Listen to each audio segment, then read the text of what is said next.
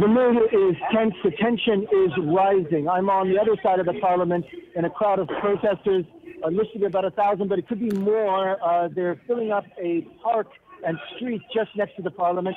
In front of me is a wall of riot police uh, with their riot shields in front of them, and just on the other side of them, where I am, is a group of protesters, all in camouflage, uh, helmets with ski masks, some with gas masks um, and also bats and other uh, baseball bats and other metal objects which they have in their hands.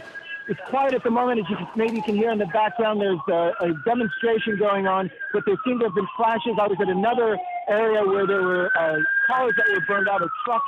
Um, it was very tense there, and the, and the protesters were collecting bricks from the street, from the sidewalks, apparently in preparation for further clashes as you can hear also, there's an ambulance in the background. There seem to have been injured, but we don't know how many.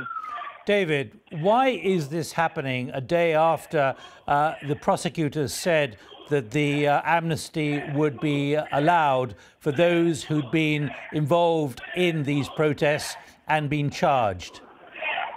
Well, the amnesty obviously dialed down the, the tension a bit, but it, it didn't eradicate it. The tension was still there, and it has been there for the last three months ever since these uh, protests began. We have the central square, as you say, uh, has been pro- has been occupied all that time. There are still barricades in town, uh, in the center of Kiev, and these protesters are uh, demanding the resignation of President Viktor Yanukovych, and they've been demanding it now for months.